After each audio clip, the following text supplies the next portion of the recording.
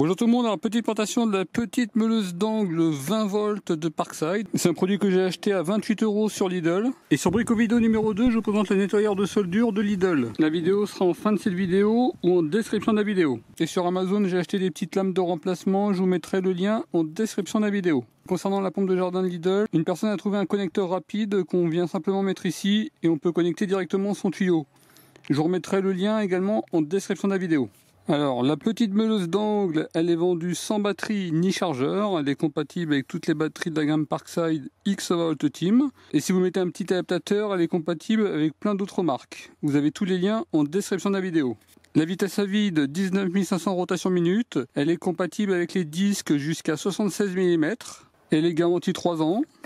On y trouve la notice d'utilisation avec batterie de 2 ampères heure, elle pèse 1,14 kg. L'alésage c'est 10 mm, l'épaisseur doit être inférieure à 4 mm.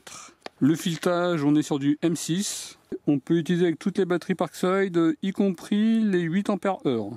Une petite clé de montage et la petite meuleuse 20 volts avec le disque déjà de prémonté. A noter que c'est la première petite meuleuse que je vois en 20 volts. Normalement, elles sont toujours en 12 volts. Et là, c'est la première en 20 volts. Ici, on a un bouton de verrouillage de la broche lorsqu'on va changer de disque.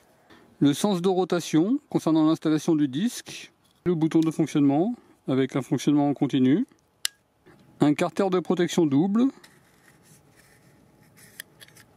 Avec un premier carter en métal pour meuler, pour poncer. Et un deuxième carter en plastique qui vient s'installer rapidement. Et là, ça sera pour scier. Compatible directement avec toutes les batteries Parkside X Volt Team.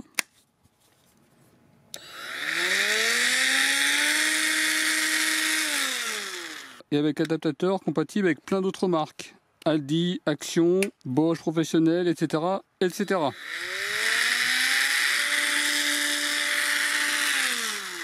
Vous avez tous les liens en description de la vidéo. Alors concernant le changement de la lame, ce qui est bien, c'est que le sens de verrouillage déverrouillage est indiqué. Pour déverrouiller, ça sera dans ce sens-là. On appuie sur le bouton, on tourne doucement, ça va s'enclencher, et après on déverrouille. Et là, vous voyez le disque. Il faut l'utiliser avant avril 2026. Et concernant ceux que je viens d'acheter sur Amazon, c'est marqué mars 2026. Et il n'y aura pas de problème au niveau de la taille et de l'alésage. Et pour reverrouiller, on appuie, on tourne légèrement que ça s'enclenche et après on serre. Par contre, ils n'ont pas prévu de petit espace de rangement concernant la clé.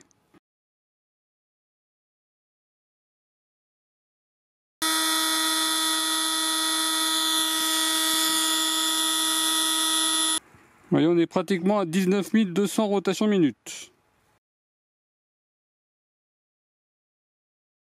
Là, vous voyez la version 20 volts et la version 12 volts. Voyez comment ça se présente. La 12 volts est un petit peu plus petite, mais la 20 volts reste quand même assez petite.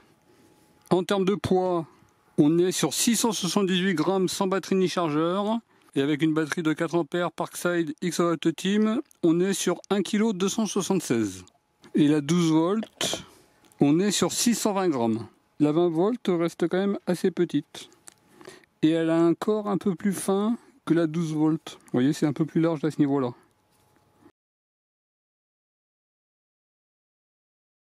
Surtout pensez à bien vous protéger, ne pas utiliser de disques périmés ou abîmés, et des disques acier, on reste bien droit. Ils sont surtout pas destinés à poncer, uniquement acier. Je vais faire quelques coupes avec le disque Parkside et ensuite je vais faire exactement les mêmes coupes avec ce disque. Et bien entendu, je rechargerai la batterie.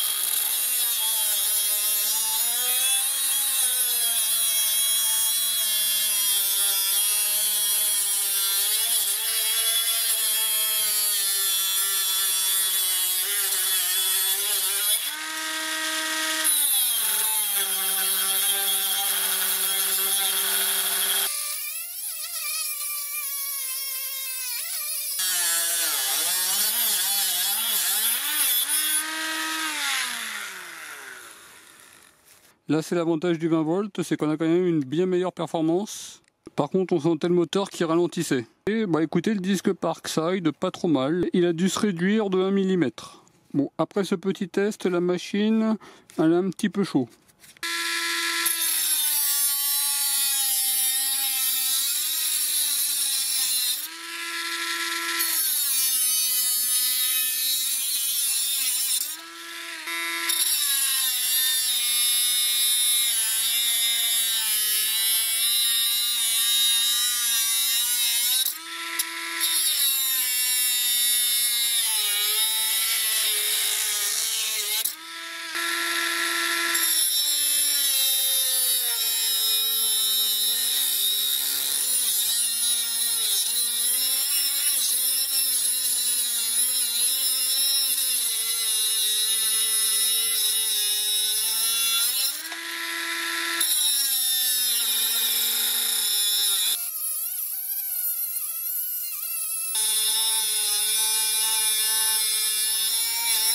Petite vue thermique, ça fait à peu près 3-4 minutes que j'ai arrêté. On est sur une température maximale de 68 degrés.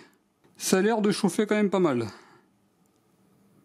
Soyez raisonnable au niveau de votre utilisation. Au niveau des disques après utilisation, c'est pareil. Ils ont exactement la même taille. Au niveau de l'usure, c'est pareil. Et ceux-là, ils m'ont semblé plus rapides.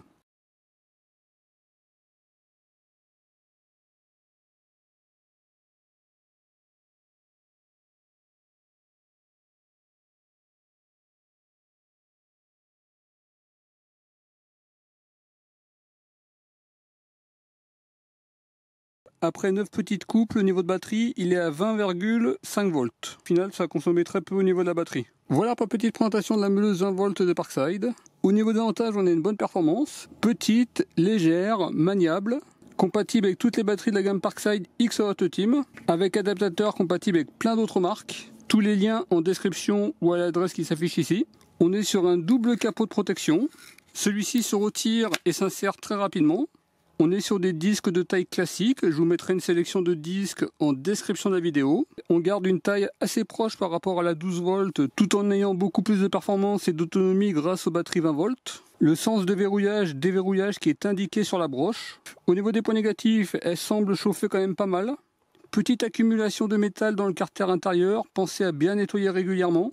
Et le deuxième carter manque un petit peu de maintien. Là par exemple si je veux tourner le capot de protection, bah, il se retire. Il faut vraiment bien que je tienne à ce niveau-là pour tourner. Un avis positif sur le produit. En tout cas, je vous remercie d'avoir regardé cette vidéo et je vous dis à très bientôt. Au revoir.